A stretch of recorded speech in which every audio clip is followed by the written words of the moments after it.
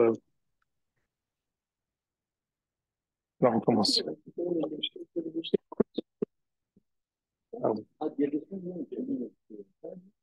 Semaine dernière. La semaine dernière. Non, c'est qui que tu as rajouté quoi?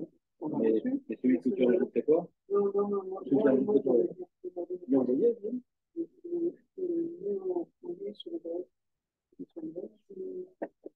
Tu m'as envoyé les infos.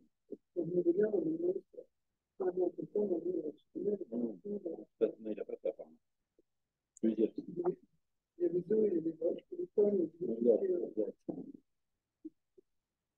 J'aimerais lire avec vous Nehemia Perek Dalet Pasuk Aleph. Aleph. On avait tout un mahalach la semaine dernière à propos des Pélishtim. On a expliqué ce qu'on a expliqué. Gambaouchi.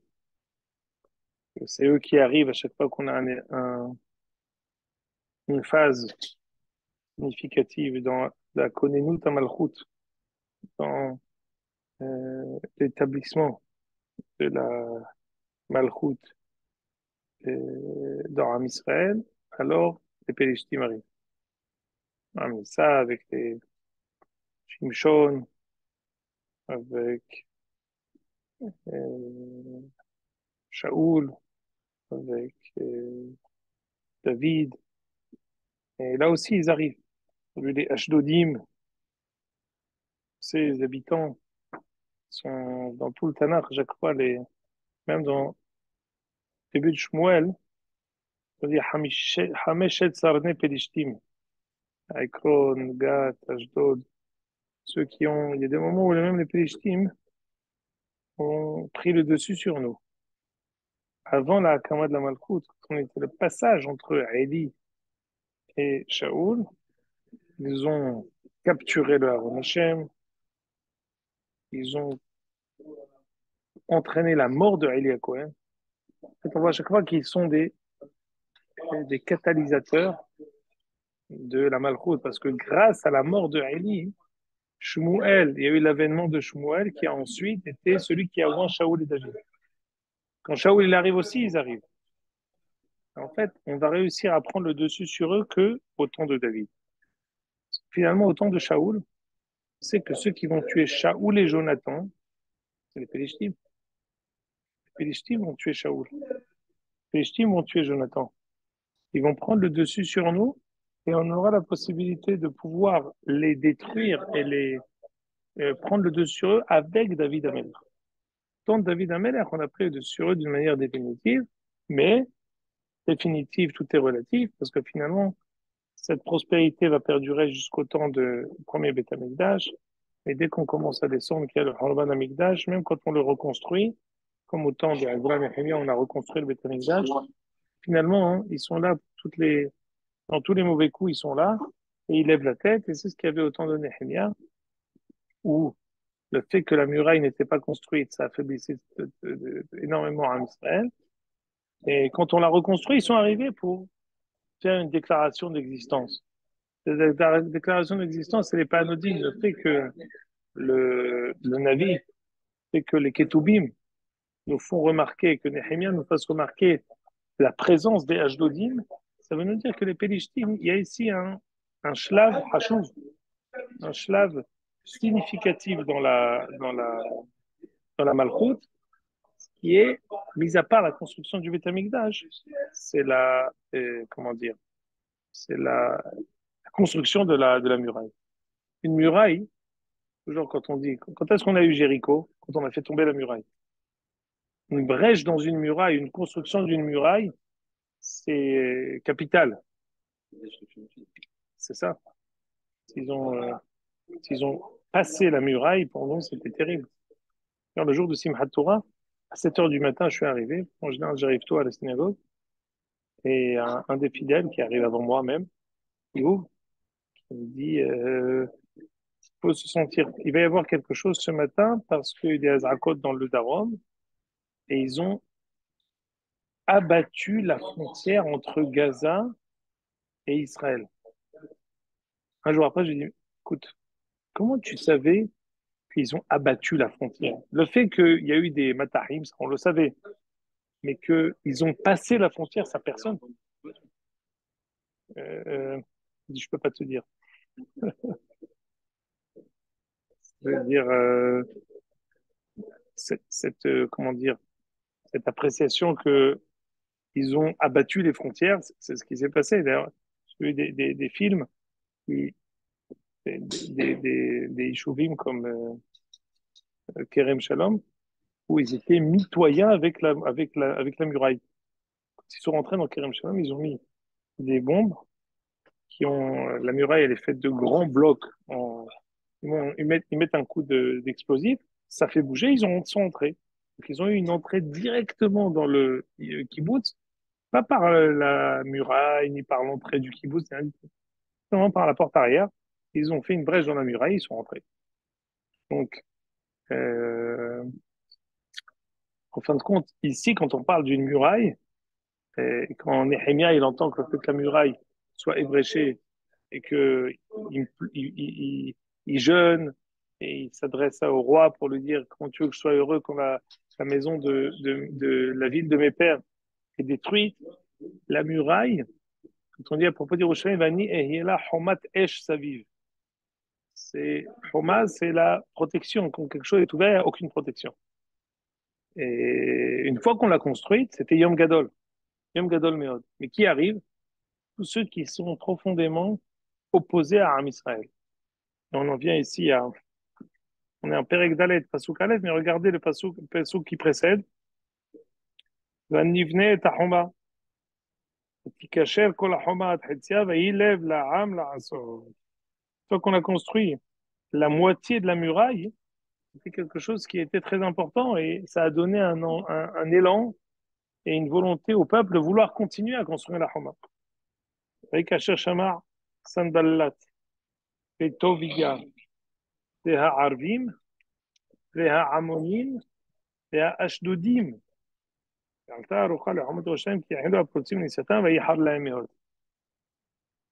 ont entendu ça, ils étaient très en colère. Ils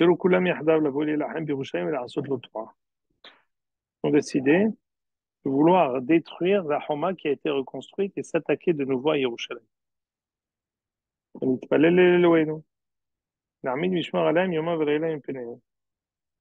on a fait des rondes, on a prié, on a décidé de faire une kitat konenut. C'est de faire des... Tu fais partie de la kitat konenut de Baïd toi? Quoi? Il y a une kitat konenut à Ramat Oui. C'est un guerrier, Haïm Messika Oui, euh, alors?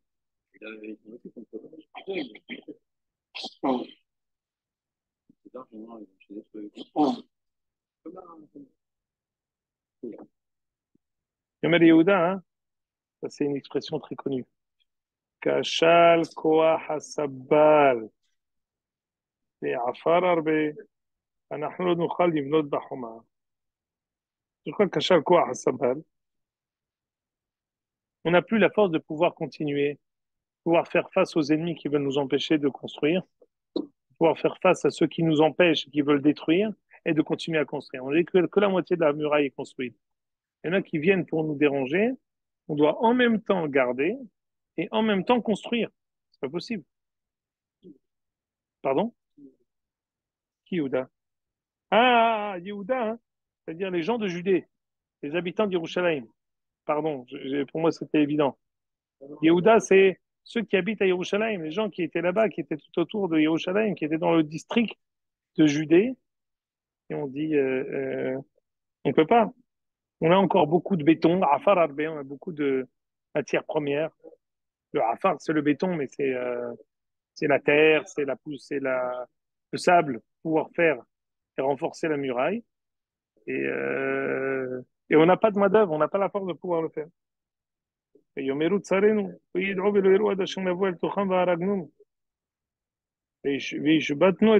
Tandis que nous, on n'a plus la force de faire, et nos ennemis, ils sont prêts, ils sont sur le qui-vive pour pouvoir nous attaquer Et la seule possibilité pour nous de pouvoir s'attaquer à eux, de pouvoir faire les deux, c'est aller les attaquer. C'est-à-dire construire et se défendre en même temps, on ne pourra pas. Qu'est-ce qu'il faut Il faut qu'on arrête de construire, qu'on aille s'attaquer à ceux qui veulent notre mort pour qu'on qu'on puisse ensuite continuer à, à reconstruire. Et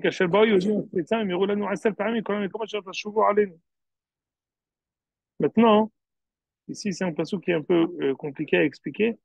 Le pirouche, le Mitsoudat David dit,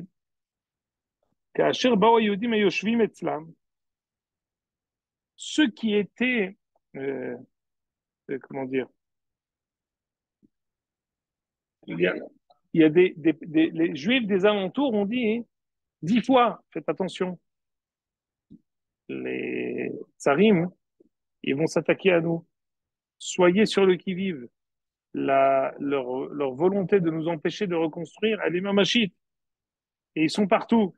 Et Kachava dit, mais juifs qui sont, il y avait des juifs qui étaient, qui habitaient parmi ces ennemis-là qui, nous, qui voulaient nous, attaquer. Ils nous ont dit dix fois que tout est, tout est en danger. Aramid, ah, maintenant écoutez bien. Qu'est-ce qu'il va faire? Ils ont décidé de faire une de économie. Ça veut dire quoi? Ils ont mis des personnes qui étaient euh, un peu partout.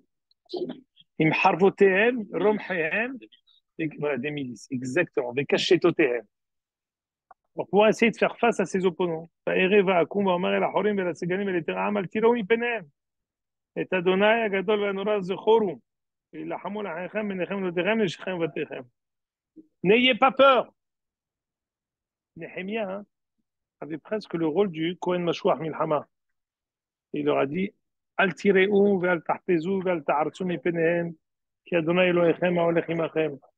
Leilachem lachem u'lechem u'shia etchem. Kadosh Baruch Hu est avec nous. Rappelez-vous d'Akadosh Baruch Hu qui est avec nous. ויהי כאשר שמעו אויבינו כי נודע לנו ויפה האלוהים את עשתם quand finalement ils ont entendu qu'on était prêt et qu'on les attendait pour les attaquer, ben, ils ont arrêté leur attaque. Eux, ils étaient basés sur l'effet de la surprise. Dès que c'est sûr, ils ont rangé et revu à la baisse leur volonté de nous attaquer. Et à ce moment-là, on a pu reprendre et reconstruire. écoutez bien maintenant.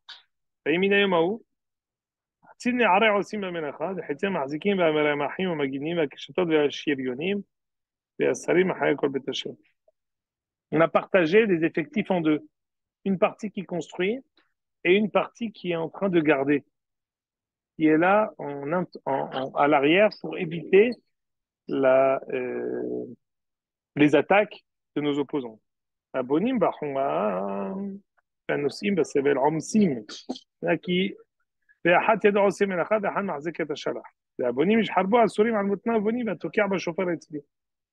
il y avait même des situations, il y avait quelqu'un qui avait dans une main une pelle et dans l'autre il avait un revolver. Dans l'autre il avait un, une épée pour être prêt à toutes les, éventualités. on doit se séparer. Et quand quel, était leur euh, kécher C'est quoi leur euh, marchir kécher pour pouvoir dire ce qui se passe? S'il se passe quelque chose, on a un chauffard.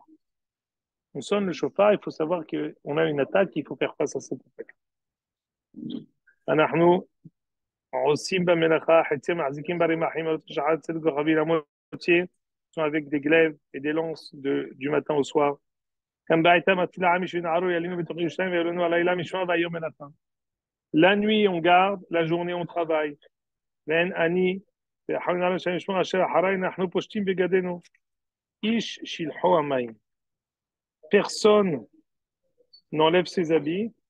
On est tellement, euh, comment dire, mobilisé qu'on on dort avec nos habits. On est prêt à du passage de la construction à la garde et on est sur le pied.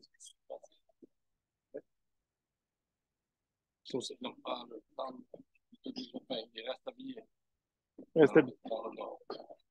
Non, dans le sud aussi. Ils, ont de manière permanente sur le qui-vive. les, euh, on a chacun de nous des amis des, des- qui sont là-bas. Ils reviennent une fois par semaine, une fois toutes les deux semaines. Euh, ils sont sur le front.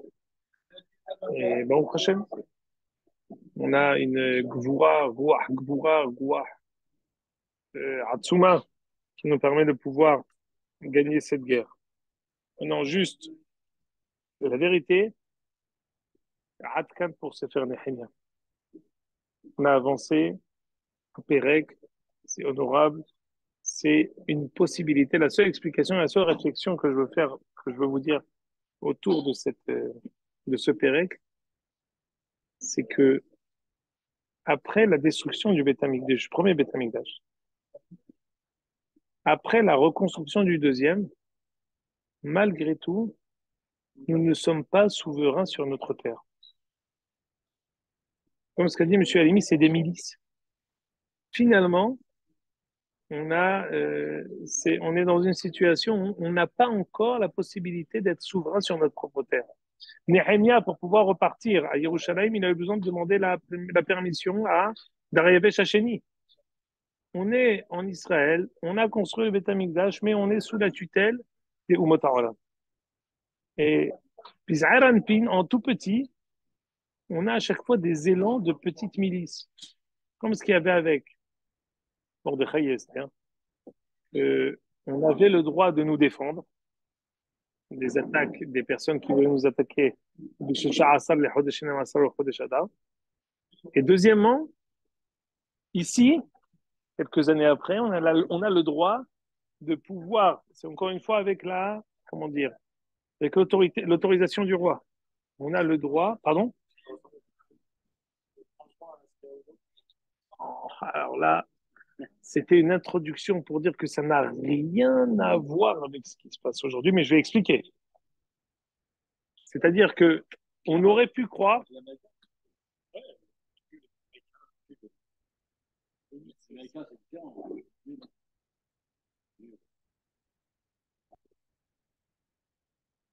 Non, ça ne me dérange pas si vous voulez donner. Enfin... Non, les Américains, ils ont raison. On est soumis à, à eux, même si on garde une certaine indépendance. C'est encore soumis. Je pense comme ça.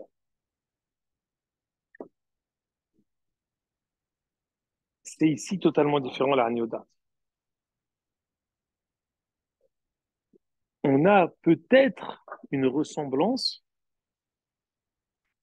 au temps des Shoftim. Au temps des Shoftim, on était, à chaque fois, on avait une souveraineté. On était à l'issue de Yehoshua Abinoun. On était souverain, on avait des attaques permanentes de l'extérieur et on essayait de gérer les attaques tant bien que mal. À chaque fois, il y avait un chauffette qui, était, qui venait pour nous sauver. Le lui donnait une force pour nous sauver. Mais là-bas aussi, c'est différent. Pourquoi? Au temps des Shoftim, comme on, on, on, mentionne à chaque fois la Kedava du Abrabanel, qu'il y a cinq différences avec le temps de la Malchoute et cinq points communs. Dans les Shoftim, il y avait des choses où il y avait une sorte de souveraineté, mais il y avait des différences. On n'avait pas encore un Meshpete à Melocha. Meshpete à Melocha ne sont faits qu'au temps de Shaoul, au temps de David. Maintenant, il faut dire une akdama. Aujourd'hui, ce que nous vivons, dire qu'il n'y a pas droit. Vrai, il n'y a pas droit. Mais il y a une chouva du Rav dans Mishpat Kohen. Que, bien, on va dire, ramène, le Rav Zevin ramène, tout le monde ramène, cette, le Rav dans les Medina, tout le monde ramène. Cette chouva, elle fait force de loi auprès de tous les décisionnaires. Faut dire que lorsqu'il n'y a pas de roi,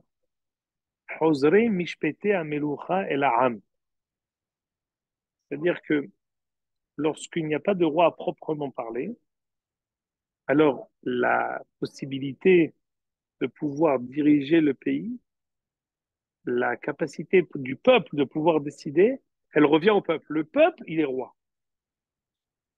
Ça veut dire quoi?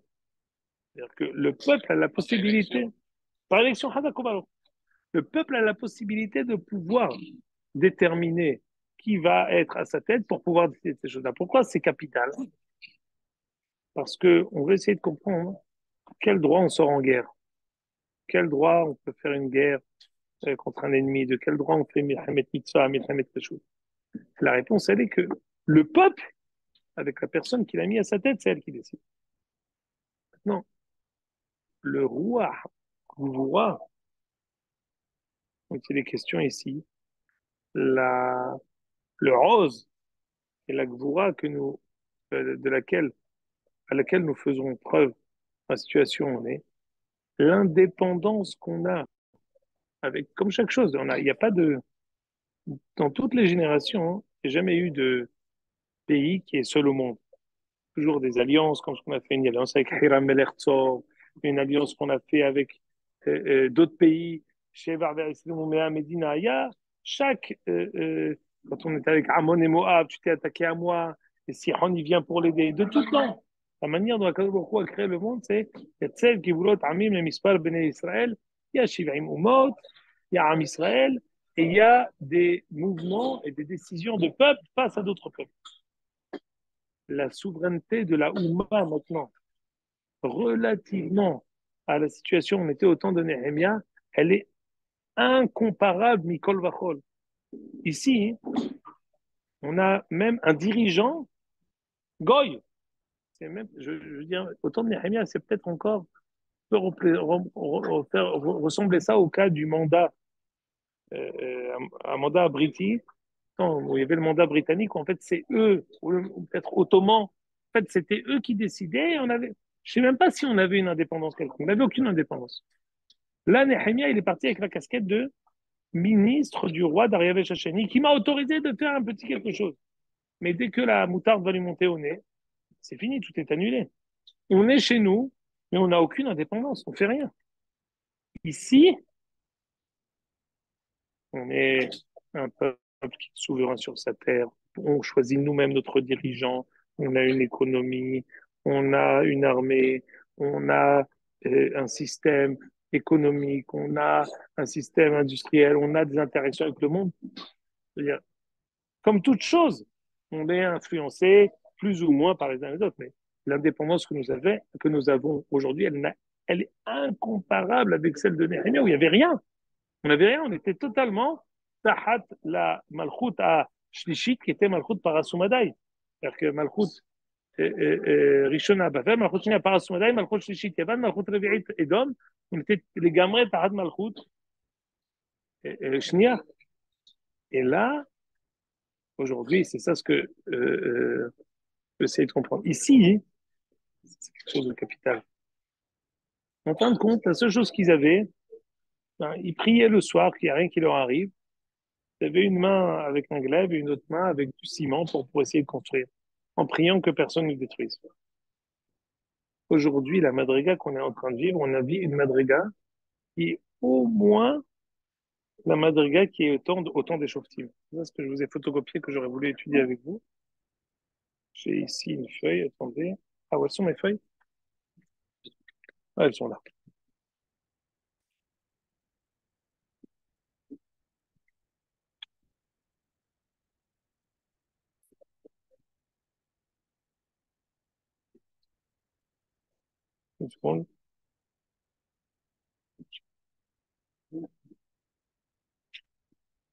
Pourquoi, euh, Uri? Vas-y, je, t'écoute.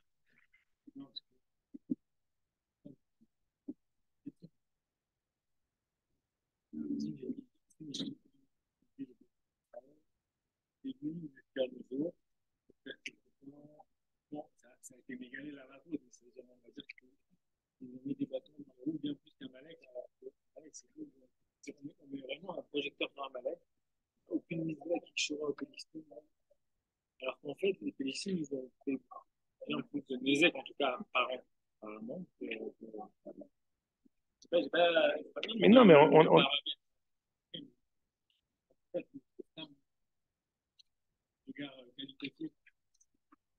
Comment on arrive à un massacre Amalekim, juste, on n'a pas, on pas fait un historique, mais dans David, Amalekim s'attaquait avec eux à Tsiklag, à Isha Amaleki, avec Shaoul. Dans tout, de tout temps, Amalek est là. Donc, il faut comprendre aussi qui c'est. Est-ce que Amalek, c'est une identité ou est-ce que Amalek, c'est un, c'est une personnalité? Donc, est-ce que c'est un. Ça a été une identité avant, ouais. Oui, et maintenant, est-ce que, est-ce que c'est quelque chose qui est des d'autres qui sont euh, révélés chez d'autres personnes? On peut dire que les nazis, c'est Amalek. À ce moment-là, on peut dire même sur d'autres personnes qui seraient Amalek. Ici, il n'est pas question de mettre un nom sur l'ennemi. Il est question de mettre un sens à l'affrontement, de comprendre quel est l'enjeu de ce qu'on est en train de vivre. Alors, est-ce que c'est, tu l'appelles Amalek ou tu l'appelles, euh, euh, comment dire, euh, Moi, pour l'instant, ce qui est Hachouvi, c'est de dire que comme c'est les Pelishtim, on a un piroge de de Vina dans Habakou qui dit que les Pelishtim, ils viennent à chaque fois que Am Israël il vient pour la Malchut, les Pelishtim arrivent. C'est un code que le Gan de Vina nous a donné dans Habakou. Maintenant, comment on arrive à percevoir, comment on réfléchit, ça nous permet de comprendre qu'ici, Am Israël, il est en Leda. Am Nivra, il y a les liens, on est en naissance, on est en renouveau. C'est ça la chose sur laquelle je vais mettre le doigt. Non, c'est Amalek, on va tuer Nashim Vataf, ou est-ce que c'est Pelishtim qu'on n'a pas Nashim Vataf? C'est pas ça le sujet. Le sujet, c'est comment on arrive à euh, déceler et à interpréter l'événement qu'on est en train de vivre, et en fonction, comprendre comment, comment, sur quoi notre filote elles sont euh, dirigées. Elles sont dirigées seulement que les Hayalim y reviennent facilement, ou non, qu'on on, on sorte grandi, on sorte avec une nouvelle Toda'a de la Ouma. La Ouma, elle reconnaisse plus quel est son rôle, elle arrive à comprendre pourquoi elle est ici en Eretz Israël. C'est quoi le sujet? Où c'est qu'on met le focus? Où c'est qu'on met l'accent la, dans tout ce Mahavat a qui vont te dire, lui qui revienne en bonne santé. Mais c'est pour ça qu'on est parti, pour qu'on revienne en bonne santé. Ben, tu n'y vas pas à ce moment-là. Non. On est parti pour quelque chose qui. On est, on, on, on est venu ici faire apparaître quelque chose que le nous a envoyé.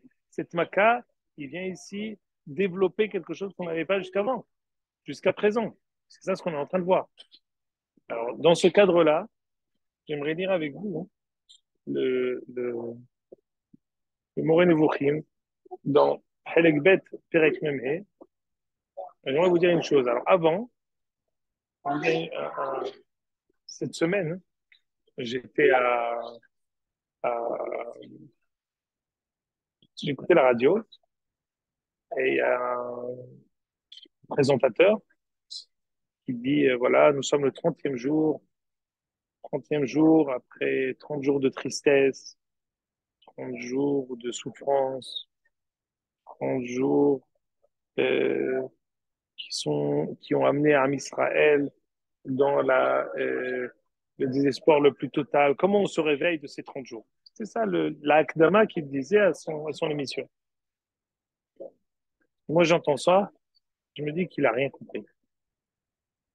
Ces 30 jours de Gvoura, ces 30 jours où Am Israël a s'est retrouvé des forces qu'il a oubliées pendant des dizaines d'années. Ces 30 jours où, au-delà du Sevel pratique, qu'on vit, qu'on sent, avec lequel on est associé. On est euh, témoin d'une route et d'une Gvoura qui n'a pas eu lieu depuis des dizaines et peut-être depuis bien, bien, bien, bien longtemps, peut-être depuis même Koumamdina. On n'a jamais eu une route de Gvoura tellement grande. Une possibilité d'être prêt à poursuivre nos ennemis à mort pour une raison qu'on se répète pour une raison qu'on comprend pourquoi Am Israël est en Eretz Israël.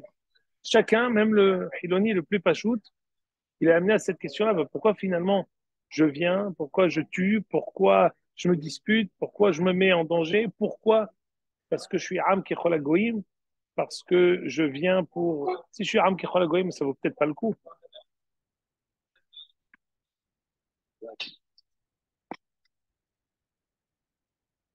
Ça nous permet de comprendre. Et ça, c'est le Haïka. Alzan Yomer, que la guerre, c'est pas comme dit Benjamin Netanyahu, on va la gagner. Ou plus exactement, la guerre, on l'a déjà gagnée. La guerre a déjà été gagnée. Quand?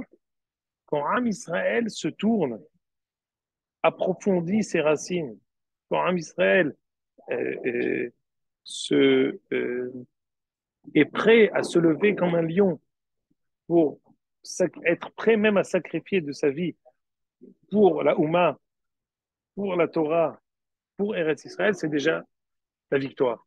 Am Israël qui était dans une léthargie pendant plus que, plus que 50 ans et qui en est venu à se dire Ishle Ohalav Israël, Am Agoyim, on comprend maintenant que non.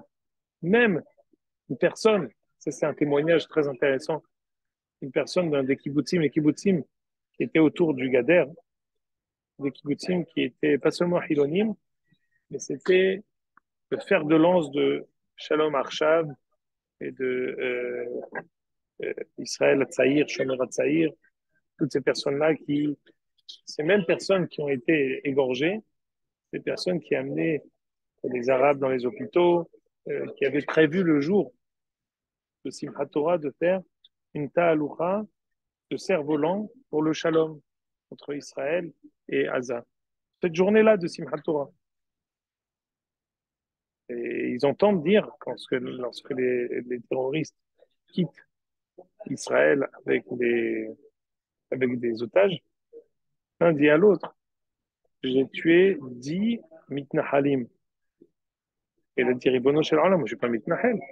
Je suis de gauche, Moubarak, moi il m'appelle mitnahel. Il se gratte la tête et il dit, mais en fait, à ses yeux, on est tous des mitnahalim.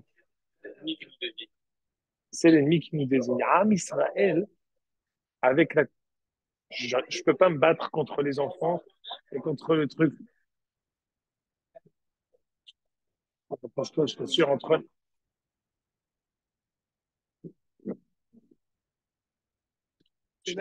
Non, la vérité, la vérité c'est.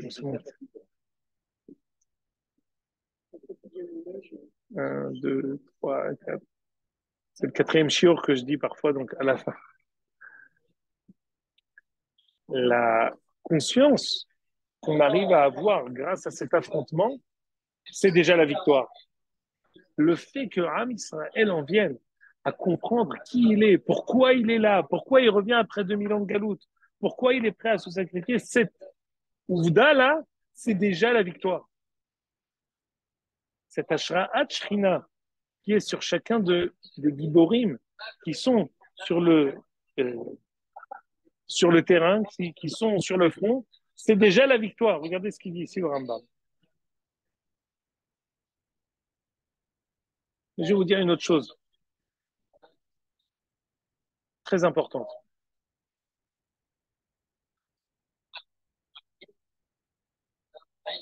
Que quelqu'un, hein, toute sa vie, c'est ses arba amot, toute sa vie, c'est son confort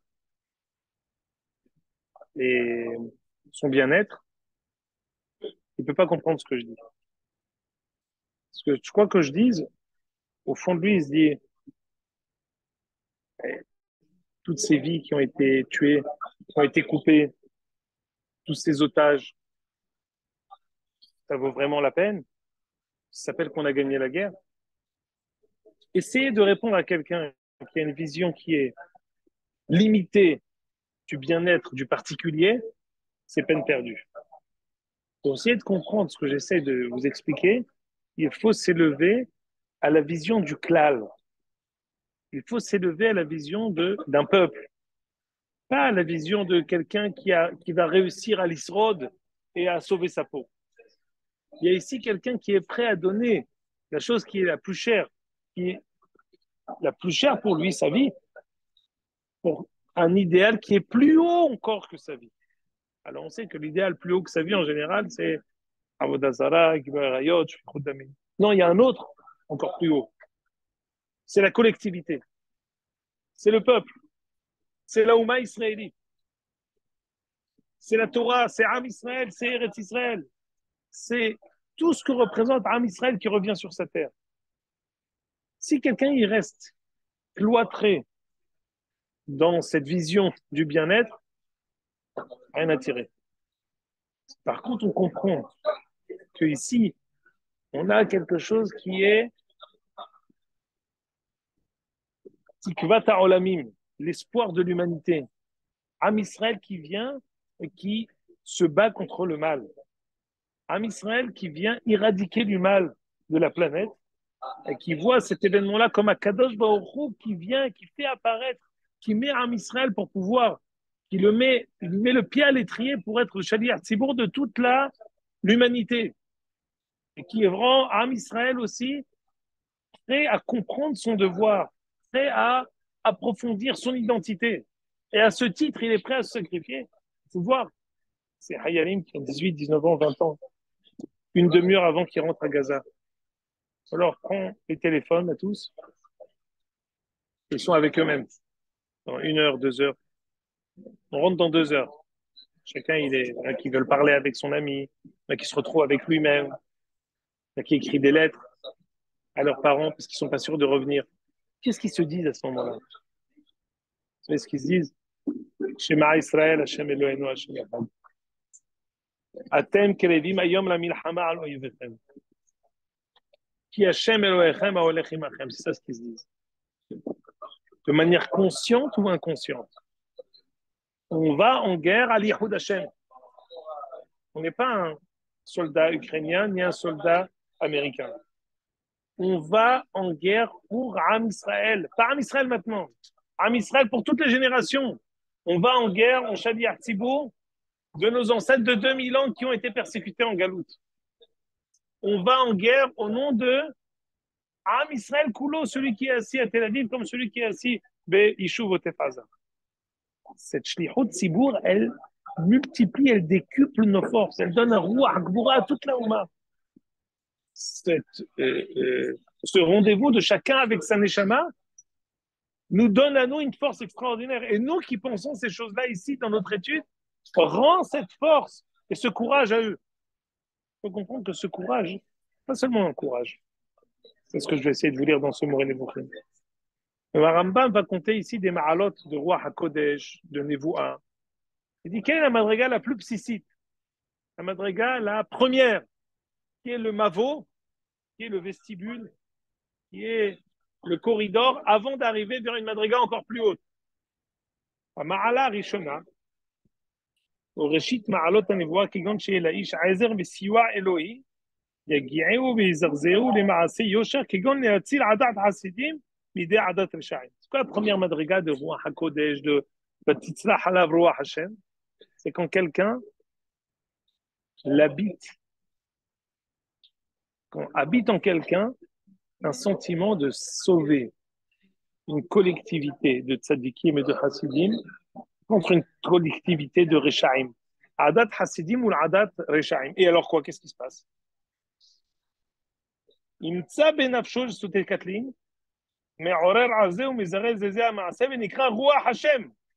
Il va, il va être épris d'un élan de courage et de bravoure. Cet élan de courage et de bravoure, s'appelle Roi Hashem. Quand le Targum, quand on dit dans euh, tout le Sefer Shoftim, Roi Hashem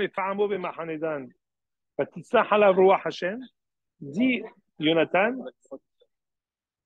Sharat alav Ruach Gvura. Lorsque Shimshon a étranglé à main nue un lion, parce que David a étranglé à main nue un lion et un ours, c'est roi Hachem. C'est roi Hagvura. C'est une si'ata d'Ishmaïa. J'ai enseigné ce, ce Nebuchim dans un autre endroit. Et j'ai dit la chose suivante. Cette si'ata d'Ishmaïa, elle est comme une ma'atefet, comme, comme une capsule, comme une auréole, comme une enveloppe que Kadal Baruch met autour de chaque hayal de Hashraat Shrina et de Si'ata d'Ishmaïa extraordinaire pour réussir à gagner, pour réussir à éradiquer le mal, pour réussir à battre nos ennemis. Eh bien, l'un des participants lui a dit Ce que tu viens de décrire, c'est ce que mon, neveu a décrit il y a une semaine, le jour où il est allé à Simchat Torah là-bas, à Et à tous ces autres endroits, quand il était né à nez avec les Mehablim, il y avait des balles qui partaient de partout. J'entendais des balles, je les sentais, je les voyais, et j'ai senti comme si Akadosh Baruch il m'avait enveloppé d'une maraté faite, une ashrat shrina que j'ai eu, comme si Akadosh Baruch m'avait protégé. Et c'est comme ça que j'ai fait la guerre pendant 5 heures, 6 heures, jusqu'au moment où on a tué le dernier. Mais je voyais les balles, je voyais les kalachnikovs qui étaient sur moi, qui passaient autour de moi, à côté de moi, derrière moi, au-dessus de moi. et j'ai senti comme si a mis des malachim autour de moi qui m'enveloppaient et qui m'empêchaient de tomber autour de toutes ces balles. Alors bien sûr, il y en a qui tombent. Ceux qui tombent, c'est pas un hajbon de Sahar et Onesh Ragil, punition et, euh, et salaire. C'est un hajbon de la Ouma. C'est-à-dire que la Ouma, il y a des fautes dans la Ouma. Eux, ils ont été pris pas à cause de leur hajbon pratique, à cause du hajbon de la harbout de toute la Ouma. Donc il y a des. Mais fondamentalement, chaque hayal, il a cette ashraat shrina extraordinaire qui est une ashraat shrina qui, attention, c'est pas, euh, c'est pas de la magie. C'est un sentiment de bravoure et une si'ata d'ishmaya de réussir dans ce qu'on entreprend qui repose sur chacun des hayalim. Si ça repose sur chacun des hayalim, ça repose aussi sur la totalité de la Ouma. La totalité de la Ouma, elle est habitée de ce sentiment de courage et de bravoure. C'est ça ce qui nous donne la force de pouvoir réussir. C'est Mévini. C'est en ça que la Hanyout d'Arti, c'est pas ce qui se passait au temps de Nehemia. Au temps de Nehemia, hein, était avec une pioche dans une main, avec un glaive dans l'autre, et on avait une sentinelle pour voir s'il n'y a pas quelqu'un qui nous attaquait. C'est une madriga. On a une autre madriga. C'est Am Israël qui décide, les Ikael, Vela Amod Aznafsho. Kadosh Baruch lui donne la bravoure et le courage d'être prêt à l'Italot des Ma'alot Kedoshim Otorim, d'être prêt à tout sacrifier sur le misbéar de Akadosh Baruch les Tovat. Pas seulement, on ne veut pas mourir, on veut vivre. Mais cette mouchanot d'être prêt à aller dans la bouche, c'est plutôt qu'un dans la bouche de l'ennemi. De le tuer nez à nez, cette gvoura, elle est nithit. Cette gvoura, elle nous accompagne, elle continuera à nous accompagner encore des années. C'est une gvoura qui est bona la Ouma. C'est une gvoura qui donne un élan extraordinaire à toute la Ouma. De même que, Shalom, les fautes de la Ouma, ils peuvent être, quelqu'un peut être passible d'un autre heshbon de ce qui se passe du matzah de la Ouma. Alors les zruyot de Vadaï, Kalvahomer, ces zruyot-là que nous, on essaie d'avoir de bravoure, de courage, de limotora, de tfila, de harboud, eh ben c'est aussi cette gvoura, elle est mashpia, allez nous les tova. On la reçoit nous aussi de l'autre côté. Ça donne une gvoura à toute la Ouma.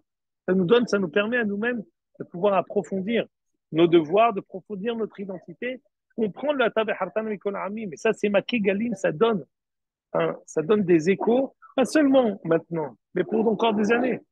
C'est un Iroua qui est l'ami. C'est en cela qu'on dit que la guerre, on ne va pas la gagner. On l'a déjà gagnée. On va la gagner aussi, effectivement, il faut terminer. Mais on l'a gagnée dans le roi. Le fait que la Ouma soit arrivée à une telle prise de conscience, c'est une victoire en soi. C'est une victoire objective, pas une victoire de consolation. C'est une victoire objective. On doit réussir maintenant à la mener à bien, mais le quart de la milhama, elle est dans la toda'a, dans ce que nous, on est en train de vivre. Et on est en train de vivre. Hashem, donne la force. Tous les hayalim reviennent,